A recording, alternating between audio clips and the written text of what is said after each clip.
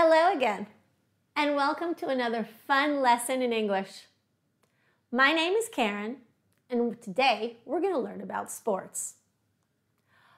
By the end of the lesson today, I want to make sure that you can understand and speak about sports and some famous athletes. Are you ready? Let's go. So, what are we going to do today? First, we're going to read a riddle. If you were at the last lesson, you know what a riddle is. And if you weren't, a riddle is a question with a little funny twist of an answer.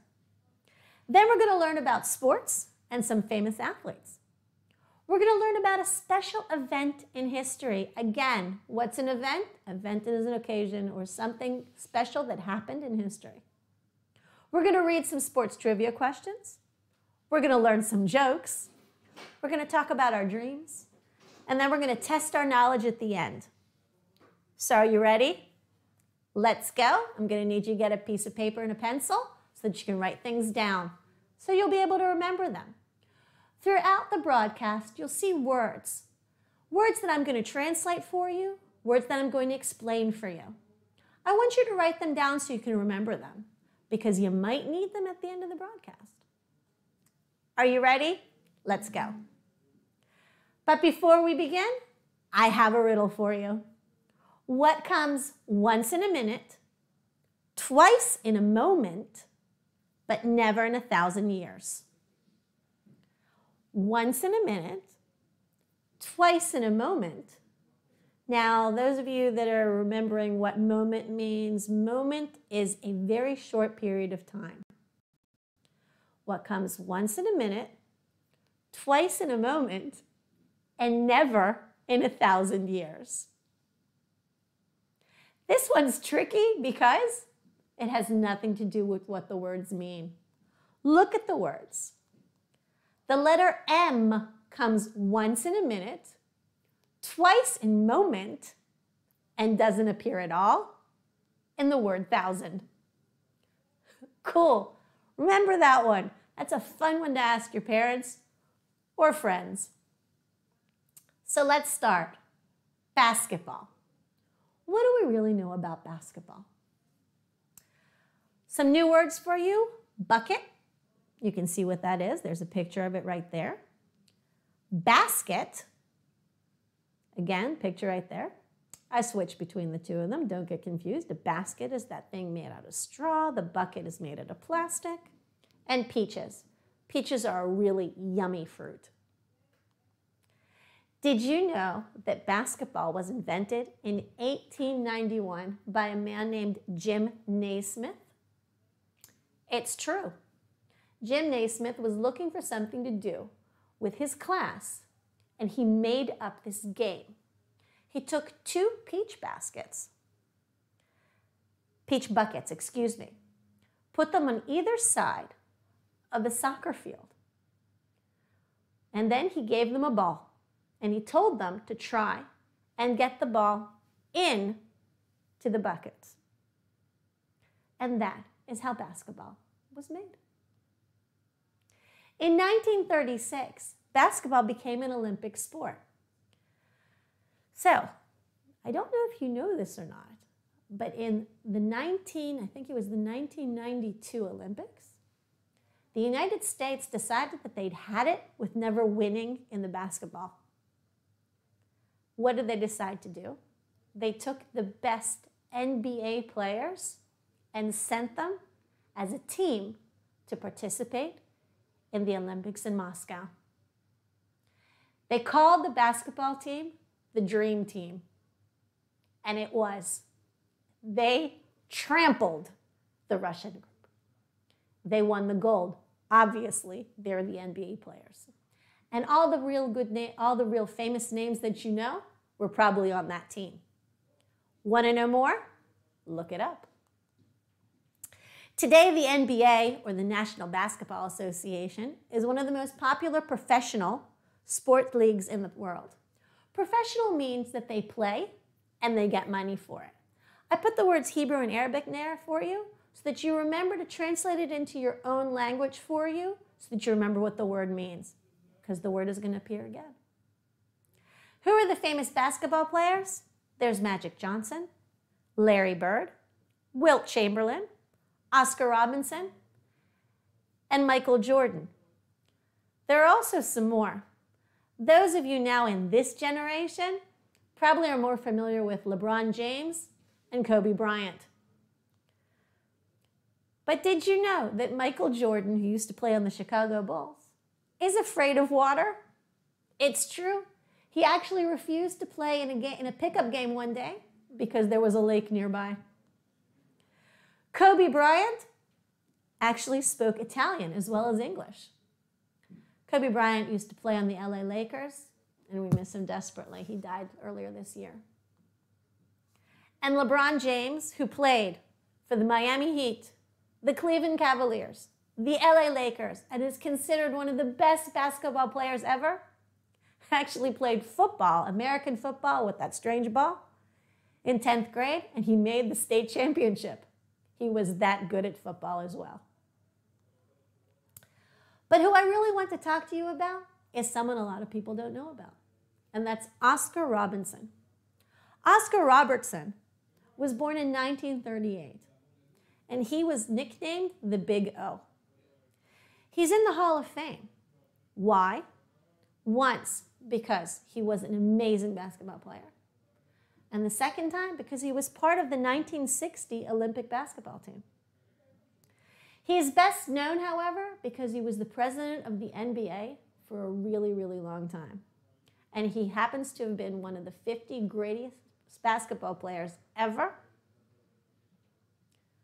So now you know a little bit about Oscar Robertson.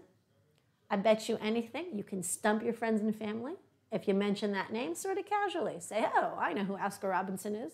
Do you? Now let's talk about soccer. Soccer is one of the most favorite things that you guys all like to play, especially you boys. And I'm not going to be chauvinistic here, girls like to play it too. Did you know that soccer, which is called football in most of the world, and that's really why we have a problem translating it from the language we speak here to English, because in English it's called football if we translate it, is thought to be the world's most popular sport. There are 11 players on each team. A player is the person that is on the field actually playing the game. Some vocabulary for you so you understand. Touching the ball, to touch. Don't do that. You don't do that in soccer. Kick the ball, we all know what that means. I think it's one of the first words we all learn when we're learning English. to knee the ball, yes, that's actually a term. You actually use your knee to move the ball. And head the ball. Sort of self explanatory, don't you think? And the last one is to score a goal. When you get that ball into the net, past the goalie, you've scored. So, did you know that the players, except for the goalie, cannot touch the ball with their hands? They can only kick it, knee it, or head it in order to make it go towards the goal. A lot of people didn't know that. You'd be surprised especially when I watch my classes play on the playground during recess. Some of them don't remember they're not allowed to touch the ball. Did you know that the World Cup is an international? International means it goes beyond just one country, it's all over the world. And it's played every four years. Famous players that played there are David Beckham, Lionel Messi, Cristiano Ronaldo, and Mia Hamm. Bet you the last name isn't familiar for some of you. We'll talk about her in a minute. But some famous little fun facts. David Beckham played for Manchester United, Real Madrid, and AC Milan, and even played in LA for a US soccer team. It's true. Lionel Messi stopped growing at the age of 11. At the age of 11, up until that age, he was probably one of the tallest people in the class. Now, he's not one of the tallest people, is he? But he's still one of the best soccer players. And Cristiano Ronaldo. Did you know that his last name is actually Dos Santos Aveiro? I didn't know that. And this is a fun fact that I learned and I want to share with you. He's actually named after the US President Ronald Reagan. Maybe you didn't know this, but the US President Ronald Reagan, before he became president, was an actor. He was in films. And Ronaldo's mother really liked him. She thought he was very good looking, and she decided to name her son after him. And that's how he got his name. So now let's talk about Mia Hamm. Mia Hamm is one of the best and greatest women's soccer players ever. She was born in 1972. She was a two time Olympic gold medalist playing on the team and a two time FIFA Women's World Cup champion. She played in four FIFA champions, championships. She led her team at three Olympic Games. Apparently, one of them they didn't win because she only has two gold medals. And she holds the record for the most international goals by a woman or man, that is, up until 2013. So while I was looking this up, I thought about that. Well, what does that mean? She held the record up until 2013. Who holds it now? So I went and did the work for you. Canada's Christine Sinclair actually broke the person who broke Mia Hamm's record in January 2020. Up until now, then, from 2013 to 2020, a woman named Abby won it. And I cannot remember her last name right now, so you might want to be looking that up for me as well. But the person who holds the most international goals scored in a competition is Iran's Ali Daei. I hope I pronounced that right. I practiced it at home. And he has 109 international goals. But if you look at the little print there, you'll see that Ronaldo is catching up. He already has 99. He's not so far away. 10 more, and we're there. So now let's talk about swimming. Swimming is a very, very, very hard sport. I don't know if you knew that. It doesn't look like a lot. There are actually four styles of swimming. There's the breaststroke, which we all know, we've actually seen people do. Usually it's old women with hats on their heads. There is freestyle, which is going forward with your hand. It's actually the fastest way to get across the pool. There is the butterfly, which is one of the hardest things to do. Trust me, I've tried. It's not easy to do. You look like a floundering fish. And the backstroke, which we're going to talk about in a second. So, did you know that it only became a competitive sport in the early 1800s? Up until then, people were just swimming around for no reason. It's the second most watched sport in the Olympic Games after gymnastics. Most people, when they go to watch the Olympics, tune in to see the gymnastics.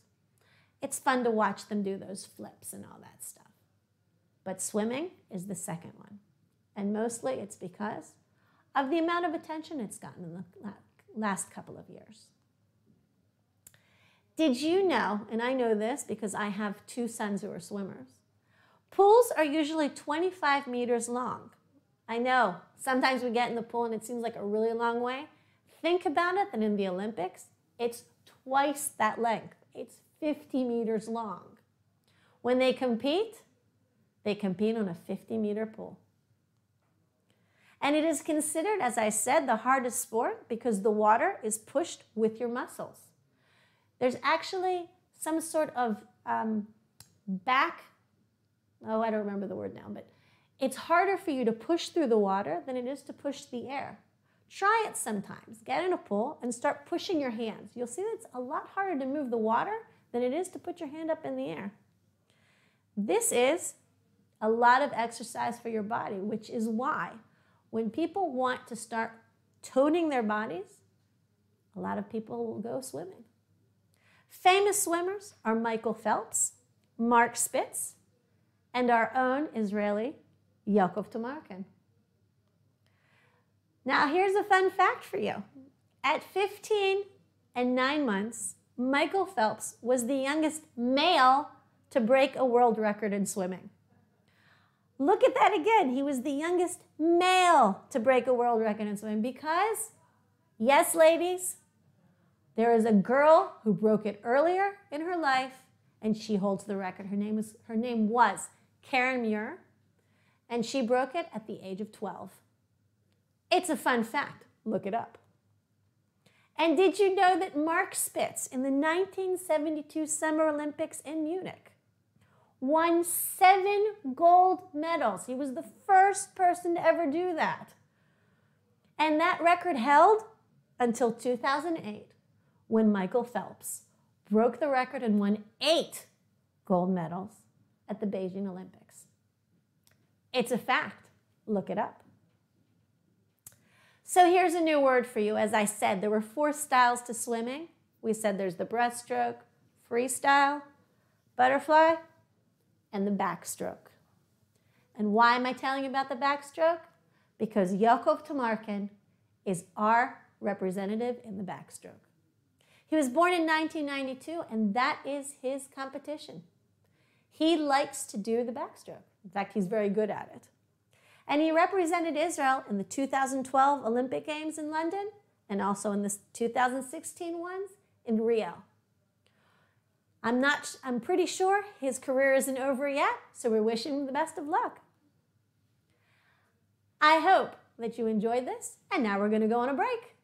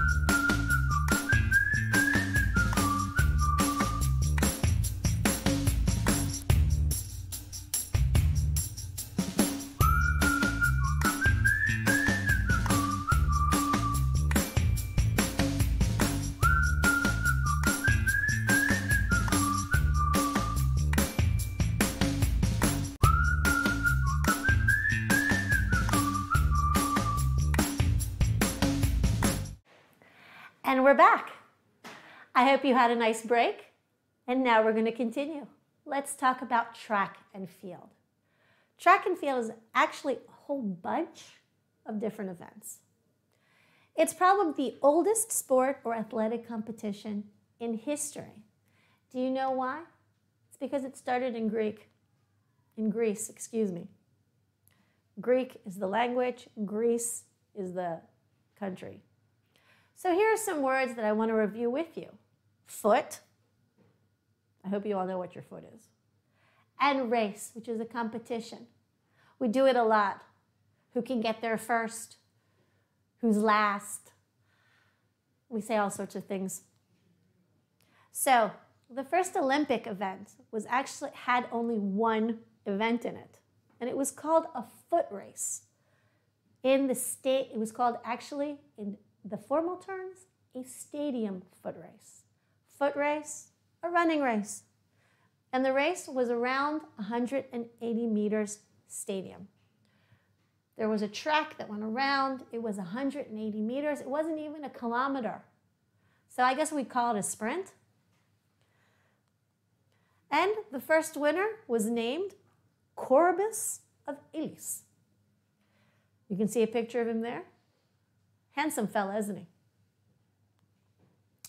Track and field, as I said, is a sport with many, many events in it. Some of them are running. There's also jumping. And there's also throwing. Some words that you want, you might hear tossed around when they talk about running races is a relay event. A relay event means that you run, you pass something to someone else, or you touch them, and then they continue. That's a relay. And a team, teams are everywhere. There's a soccer team, there's a basketball team, and there's also a track team. A lot of the high schools have a track team. Are you on it? If you are, good for you. And if you're not, maybe you want to think about joining. Most of the events in the track and field event are individual. Individual means you do it by yourself. But some, like the relay one, is done as a team. Did you know that the Greeks added the pentathon, pentathon, which means five? Penta means five. So the pentathon to the Greek, to the Olympics in 708 BC. In addition to the stadium foot race, they added four more events the javelin, which you can see a picture of there. It's like throwing a huge spear. A discus, where you throw like a big frisbee type thing, but it's really heavy and you have to throw it. The long jump. A lot of you do that in sport in your gym classes or your sport classes. You run, take off, and you have to jump as far as you can. You, you end up in a um, place that has a lot of sand in it do you remember this from elementary school? I know that in my school they're constantly practicing it. And wrestling. Wrestling, standing on two sides of a mat, you have to try and pin someone to the mat. The most famous track and field athlete that most people know about is Usain Bolt. He was born in 1986 in Jamaica, and he is a nine time Olympic winner. He won the gold nine times. He's considered the fastest man on earth. I guess that's why they gave him the nickname Lightning Bolt. A lightning bolt is also, the lightning as it comes down is called a lightning bolt. It comes down quickly, just like Usain Bolt. But do you know about Jesse Owens? I grew up learning about Jesse Owens. Obviously, I was around before Usain Bolt. Jesse Owens competed in the 1936 Summer Olympics in Berlin. Now, he's considered one of the greatest athletes, and here's why. If you think about it, and this is going to be a little bit of a history lesson, in 1936, who was in power in Germany? Those, of us that remember our history lessons know it was Adolf Hitler. Adolf Hitler had just come to be in power in Germany. And what better way to show how wonderful and great Germany was than to hold the Summer Olympics? The Olympics were held in Berlin, and of course, people came from all over the world, including the American track and, track and field team. One of the members, Jesse Owens. Now, remember, Adolf Hitler had this thing about people being superior, being better, being the best. Who were the best?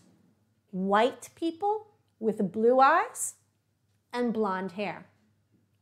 Those were considered the best people in the world. So obviously, if you had those characteristics or traits, you were going to be the best and you were going to get the gold. Jesse Owens was black, not blonde, not blue eyed, and definitely not white. Adolf Hitler was not too happy to see him, but he was happy to show the world that the white people were best. And guess what?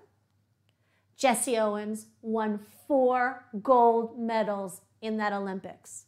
He won it in the 100 meter sprint, the 200 meter sprint, the 4x100 relay, and the long jump. To put it in not so nice terms, he beat the pants off of the German athletes. Hitler was not happy, especially since he had to put the gold medal on Jesse Owens. Guess we showed him that he was not as smart as he, think, he thought he was, and definitely white people are not superior. We're good, but we're not superior. But do you know about FloJo? FloJo is one of my favorite athletes. Her name is actually Florence Griffith Joyner, and she is the fastest woman of all times. She set records in 1988 for the 100 meter and the 200 meter sprint. Again, we, read, we learned about Usain Bolt holding the records in the men's. She holds it in the women's. Unfortunately, she died in 1998, but she was one of the most colorful and best women athletes ever. So now we're going to review. You'll see on the screen a list of 10 athletes and four events. I'm going to give you a minute. I want you to look at them and try and match them to the event that they participated. Are you ready? Go!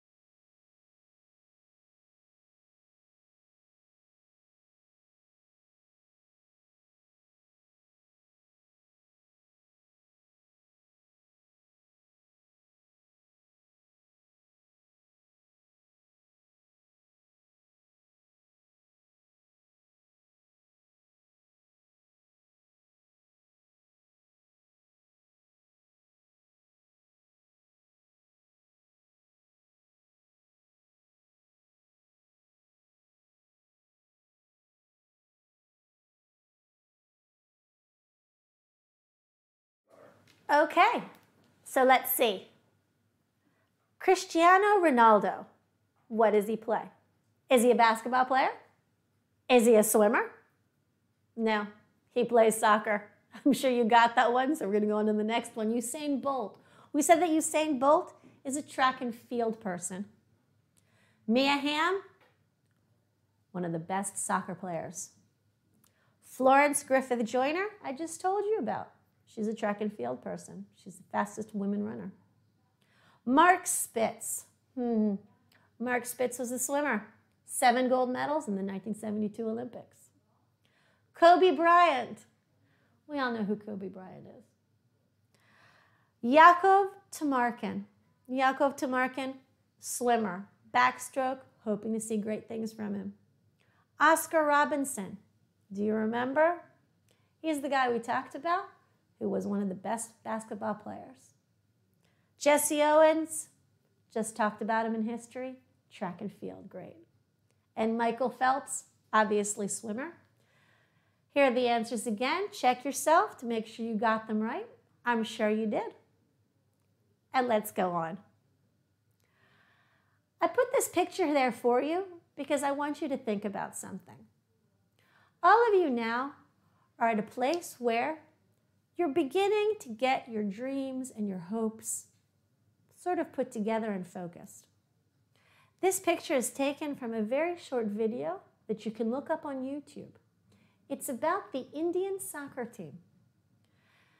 In short, it's about a whole bunch of boys who played soccer or wanted to play soccer and they had no place to play. Every bit of land in India that they could find was being used for farming. The only place that they could play, they were told, was to go play in the middle of the lake. Lake, big, bottle, big body of water. So what did they do?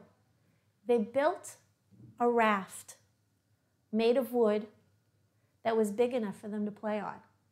And they started to practice on it. And the people laughed at them and told them they couldn't do it, but they wanted to be soccer players. Do you want to know how it ends? Do you think they made it? Do you think they made a soccer team? Do you think they made it to the Olympics? I'm not going to tell you. If you want to know, look it up. Indian soccer team, and I hope you enjoy the video. So what did we learn today? We learned about basketball and Oscar Robinson. Again, trivia person. Ask your parents or your friends. Soccer and Mia Hamm. We learned about swimming and Yakov Toumarkin and Mark Spitz. Track and field, Usain Bolt. The Olympics of 1936 and Jesse Owens. And you learned along the way some trivia facts about sports. So now, to close up this thing, I'm going to ask you a couple of riddles and jokes about sports. Here's the first one. Why couldn't Cinderella play soccer? Hmm. Do we all know who Cinderella was? And why couldn't she play soccer? I'm going to give you 10 seconds to think about that. 10, 9, 8, not pressuring you or anything. Five, four, three, two, one. Why couldn't Cinderella play soccer? Because she was always running away from the ball. Now, the ball is also that circular thing that we kick around, and also it's another name for a big dance. And we all know that Cinderella went to a huge dance met the prince, and at the stroke of midnight or 12 o'clock at night, she ran away. So why couldn't she play soccer? Because she was always running away from the ball. Here's another one for you. What's a golfer's favorite letter? Golfer, with that big thing, hits the ball. I'll give you a hint. Where does that ball sit? Thinking? Are you thinking? That little thing that the ball sits on is called a tee. So what's a golfer's favorite letter? T. Sort of silly, wasn't that? But I like it anyways. let's do another one. What animal is best at hitting a baseball? Now, this you have to know a little bit about baseball. As you know, when you play baseball, you have to get up, you have to stand on the plate, you have that big thing in your hand, that was a big clue, and you have to hit the ball with it. So, what animal is best at hitting? That would be the bat. Bat is an animal. It's also that wooden thing that you use that we use to hit the ball out of the park. And what is the hardest part about skydiving? The hardest part about skydiving is the ground. Because if you don't do it correctly, boom, you're going to hit it, and that's hard. Okay. Thank you very much for being with me. I hope you had a wonderful time in this lesson, and I hope to see you soon. Bye.